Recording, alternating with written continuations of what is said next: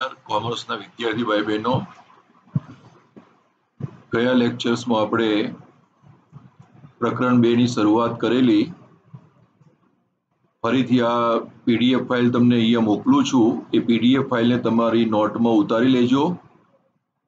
કારણ કે આ બહુ અગત્યની પીડીએફ બનાવેલી છે અને એને વારંવાર વાંચશો તો તમને ખ્યાલ આવી જશે કે એકાઉન્ટ જે વિષય છે એ સમજવો ઘણો સહેલો છે. જે વિદ્યાર્થી એને સમજવાનો પ્રયત્ન કરશે, એને સહેલાઈથી સમજાઈ જશે. પ્રયત્ન નહીં કરો તો સમજાશે નહીં. એટલે આજે આપણે આ ધંધાકીય વ્યવહારનો અર્થ ગયા વખતે આપણે જોયેલો.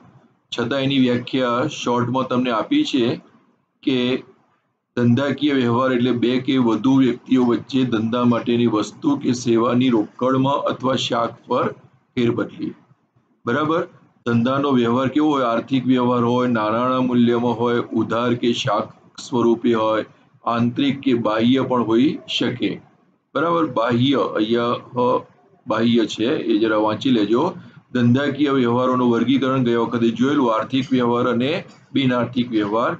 આર્થિકમાં બે પ્રકાર છે, રોકડ અને ઉધાર. બિન આર્થિકમાં બે બિન આર્થિકમાં આંતરિક અને બાહ્ય.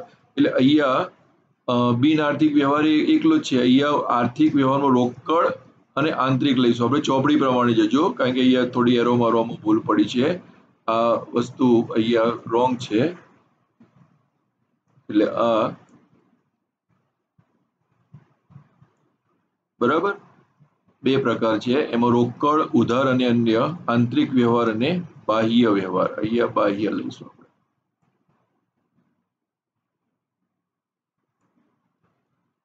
વ્યવહાર ધંધાકીય આર્થિક વ્યવહાર ચોપડે શું થાય છે? નોંધાય છે. બિન આર્થિક વ્યવહારો ચોપડે નોંધવામાં આવતા નથી. હવે આર્થિક વ્યવહાર કોને કહેવાય અને બિન આર્થિક વ્યવહાર કોને કહેવાય? ગઈ વખતે આપણે વિગતે જોયું છે, એટલે આપણે એને જોતા નથી. આર્થિક વ્યવહાર એ નાણાંના મૂલ્યમાં માપી શકાય. બિન આર્થિક વ્યવહાર એ નાણાંના મૂલ્યમાં માપી શકાતો નથી. બરાબર? આર્થિક વ્યવહારના પ્રકારો હવે આપણે જોવાના છે. એમાં આર્થિક વ્યવહારમાં રોકડ વ્યવહાર ઉધાર વ્યવહાર અને અન્ય વ્યવહાર. રોકડ વ્યવહાર દાખલા તરીકે આપણે રૂપિયા પાંચસોનો માલ ખરીદ્યો, રૂપિયા પાંચસો લાઇટ બિલના ભર્યા, રૂપિયા બસો ઘરવેરાના ભર્યા, રૂપિયા સાત હજારનું યંત્ર ખરીદ્યું, રૂપિયા આઠ હજારનું ફર્નિચર ખરીદ્યું, રૂપિયા બે હજાર કમિશનના મળ્યા, રૂપિયા પાંચ હજાર પગારના મળ્યા. આ બધા વ્યવહાર કેવા કહેવાય? રોકડ વ્યવહાર કહેવાય. એટલે આર્થિક વ્યવહારમાં પહેલો પ્રકાર કયો છે? રોકડ વ્યવહાર, જે આપણે ચાર્ટમાં જોયો હતો બરાબર? હવે ઉધાર વ્યવહાર તો ઉધાર વ્યવહારમાં શું છે કે એ પણ એક પ્રકારનો આર્થિક વ્યવહાર જ કહેવાય. પણ એ વ્યવહાર કેવો છે? ઉધાર. હમણાં એના આપણને રોકડ સ્વરૂપમાં નાણાં પ્રાપ્ત થતા નથી. રૂપિયા દસ હજારનો માલ ધરતી પાસેથી ખરીદ્યો. કેવો વ્યવહાર થયો? ઉધાર. કારણ કે ધરતી પાસેથી ખરીદ્યો છે. બરાબર? એટલે એ વ્યવહાર કેવો થયો? ઉધાર. રૂપિયા બાર હજારનું યંત્ર અમિત ટ્રેડર્સને વેચ્યું. એ પણ અમિત ટ્રેડર્સને વેચ્યું છે. જો અમિત ટ્રેડર્સને આપણે રોકડેથી વેચ્યું હોત, તો અમિત ટ્રેડર્સના નામની કોઈ જરૂર છે નહીં. એટલે અહીંયા શું છે? નામનો ઉલ્લેખ થયેલો હોય વ્યવહારમાં. અને રોકડનો ઉલ્લેખ થયેલો હોય નહીં, રોકડ કે બેંકનો. તેનો મતલબ કે વ્યવહાર કેવો છે? ઉધાર છે. રૂપિયા દસ હજારનો માલ ધરતી પાસેથી ખરીદ્યો. અને બાર હજારનું યંત્ર અમિત ટ્રેડર્સને વેચ્યું. એટલે ભવિષ્યમાં ધરતી ધરતીને આપણે દસ હજાર ચૂકવવા પડે. અને અમિત ટ્રેડર્સને વેચ્યું છે અમિત ટ્રેડર્સ પાસેથી આપણે બાર હજાર રૂપિયા શું કરવાના છે? લેવાના છે. એટલે એક પ્રકારનો નાણાંના મૂલ્યમાં માપી શકાય છે વ્યવહાર. એટલે ભલે ઉધાર વ્યવહાર છે, પણ એ કેવો ગણાય? આર્થિક વ્યવહાર ગણાય. પછી અન્ય વ્યવહાર. રોકડ અને જે ઉધાર વ્યવહાર હોય એ સિવાયના. દાખલા તરીકે માલ ચોરાઈ જાય. ચોરાઈ એટલે ધંધામાંથી ચોરાયો છે, નુકસાન થયું છે, તો એની ધંધામાં એન્ટ્રી આપવી પડે. કોઈ પણ રીતે ધંધામાં નુકસાન થાય તો એ ધંધામાં જે પણ કંઈ નુકસાન થાય, દાખલા તરીકે માલ ચોરાઈ જાય, માલ બળી જાય, પછી માલ કોઈ કોઈ જગ્યાએ આપી દેવામાં આવે ધર્માદામાં, બરાબર?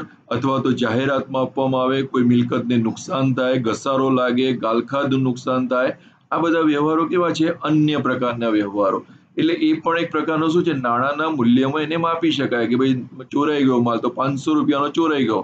તો એ પાંચસો રૂપિયાની હિસાબી અસર તમારે ધંધામાં આપવી પડે તો જ ધંધામાં સાચો નફો કે સાચો નુકસાન જાણી શકાય. એટલે આર્થિકમાં ત્રણ પ્રકારના વ્યવહાર, ફરીથી યાદ રાખજો, રોકડ વ્યવહાર, ઉધાર વ્યવહાર અને અન્ય વ્યવહાર.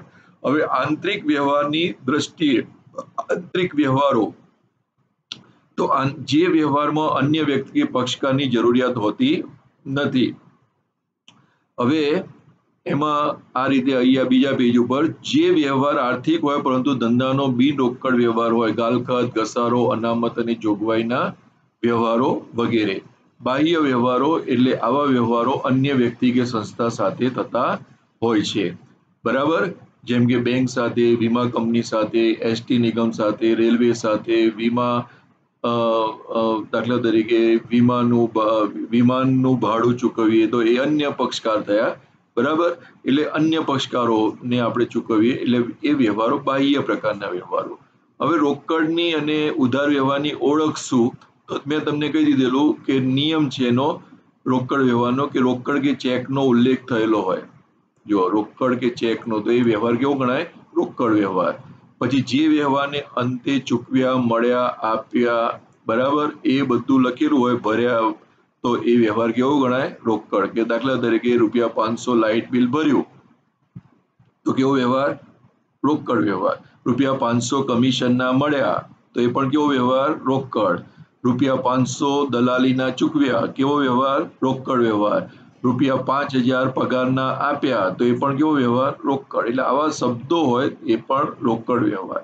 પછી જે વ્યવહારમાં વ્યક્તિના નામનો ઉલ્લેખ હોય, પરંતુ વ્યવહારના અંતે ચૂકવ્યા હોય ભલે નામ હોય, પરંતુ દાખલા તરીકે રમેશભાઈને રૂપિયા પાંચસો ચૂકવ્યા, તો એ વ્યવહાર કેવો થયો? રોકડ વ્યવહાર. ભલે નામ છે, પણ રોકડ શબ્દનો ઉલ્લેખ થયેલો છે.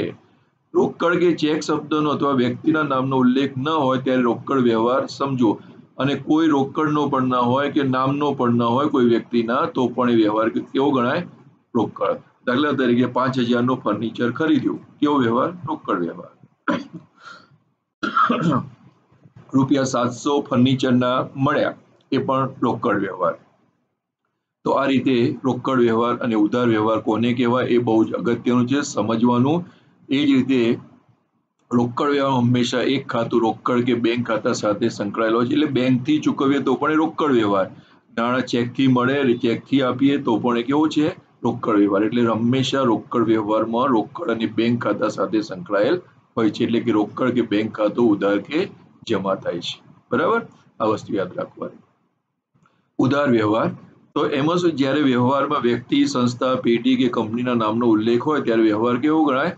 ઉદાર ગણાય. દાખલા તરીકે ચારસો પાંચસો, ચાર હજાર પાંચસોનો માલ અમિત ટ્રેડર્સ પાસેથી ખરીદ્યો. કેવો થયો? ઉધાર વ્યવહાર. હવે નીચેના વ્યવહારો રોકડ કે ઉધાર, તો એ તમારે જાણ સમજાવવાના છે. તો પાંચ હજારનો રોકડ લાવી ધંધો શરૂ કર્યો. કેવો વ્યવહાર ગણાય? રોકડ. રોકડ શબ્દનો ઉલ્લેખ છે. રૂપિયા દસ હજારનો માલ ખરીદ્યો. બરાબર? કેવો વ્યવહાર ગણાય રોકડ વ્યવહાર. પંદર હજારનો માલ સંજના સ્ટોર્સને વેચ્યો. હવે સંજના સ્ટોર્સ વ્યક્તિનો ઉલ્લેખ છે, પેઢીનો ઉલ્લેખ છે, તો એ ઉધાર વ્યવહાર. હવે અહીંયા દસ હજારનો બીઓબીમાં ખાતું ખોલાવ્યું. તો એ કેવો રોકડ? બેંકમાં રોકડા ભરે ને? એટલે રોકડ વ્યવહાર. બેંકમાંથી પાંચ હજાર ઉપાડ્યા. કેવો વ્યવહાર? રોકડ.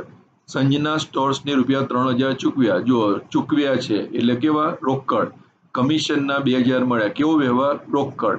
ટીપટોપ ફર્નિચરમાંથી પાંચ હજારનું ટેબલ ખરીદ્યું. કેવો વ્યવહાર? ઉધાર. કારણ કે ટીપટોપમાંથી ખરીદ્યું છે. રોકડનો ઉલ્લેખ છે નહીં. માટે ઉધાર વ્યવહાર. અંગત હેતુસર ધંધામાંથી બે હજાર લઈ ગયા. કેવો વ્યવહાર? રોકડ. રૂપિયા બાજ, બા બસોનો માલ મફત નમૂના તરીકે મળ્યો. હજુ આમાં નાણાંના મૂલ્યમાં માપી શકાય નહીં. કારણ કે મફત મળ્યો છે. એટલે કેવો વ્યવહાર ગણાય? બિન આર્થિક ગણાય. હવે વાઉચર તો હિસાબી પદ્ધતિમાં વ્યવહાર થયો છે કે નહીં તેનો લેખિત પુરાવો એટલે વાઉચર બરાબર? કોઈ પણ વ્યવહાર થયો છે કે નહીં એનો લેખિત પુરાવો એટલે વાઉચર વાઉચર એટલે બિલ હોય, રસીદ હોય, બરાબર? બેંકમાં પૈસા ભરીએ તો બેંક સ્લીપ આપે આપણને, સિક્કો મારીને, એ પણ એક પ્રકારનું વાઉચર છે. બરાબર? કોઈ જગ્યાએથી પંખો ખરીદીએ તો આપણને બિલ મળે, તો એ પણ એક વાઉચર ગણાય. બરાબર? રસીદ આપે, કોઈ ભાડું ચૂકવીએ તો સામે રસીદ મળે તો એ પણ એક વાઉચર છે. ટૂંકમાં ધંધામાં આર્થિક વ્યવહાર થયો છે, તેનો લેખિત આધાર એટલે વાઉચર જો અહીંયા વાઉચરનું નામ, આપણો કેશ મેમો એટલે આપણું રોકડ વેચાણ. ક્રેડિટ મેમો એટલે શું કહે ઉધાર વેચાણ. વ્યક્તિનો કેશ મેમો હોય એટલે રોકડ ખરીદી. વ્યક્તિનો ક્રેડિટ મેમો હોય એટલે ઉધાર ખરીદી. અને ઉધાર ચિઠ્ઠી એટલે ઉધાર ખરીદેલો માલ પરત. અને જમા ચિઠ્ઠી ક્યારે મળે, ઉધાર વેચેલો, માલ શું કરીએ? પરત કરીએ. આપની રસીદ. સામેના વ્યક્તિ પાસેથી રોકડા કે ચેક નાણાં મળ્યા હોય.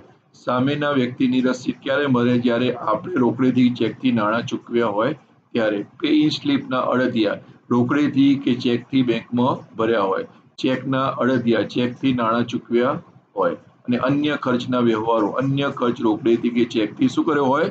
ચૂકવ્યો હોય. હવે વ્યવહારોની બેવડી અસર. તો વ્યવહારોની જે બેવડી અસર છે, હંમેશા બે વસ્તુ યાદ રાખવાની કે વ્યવહારોની જે બેવડી અસર છે, એ હંમેશા દરેક વ્યવહારની બે અસર થાય. એક ઉધાર થાય અને એક બીજી શું થાય? જમા થાય. તો કયું ખાતું ઉધાર કરવાનું, કયું ખાતું જમા કરવાનું, એ હવે પછીના લેક્ચરમાં આપણે જોઈશું. આજે આટલી વસ્તુ જે આપણે ગયા પિરિયડમાં સમજેલા એને ફરીથી આ પીડીએફમાં મોકલું છું. ફરીથી એને સમજજો અને એને પોતાની નોટમાં ઉતારવા માટે પ્રયત્ન કરજો. અને દરેક વિદ્યાર્થી એની નોટ ફરજિયાત બનાવવાની છે. પહેલા ચેપ્ટરની પણ નોટ બનાવી દીધી હશે. ન બનાવી હોય તો ફરીથી કહું છું કે એ નોટ બનાવી દેજો. થેન્ક યુ વેરી મચ ખૂબ ખૂબ આભાર.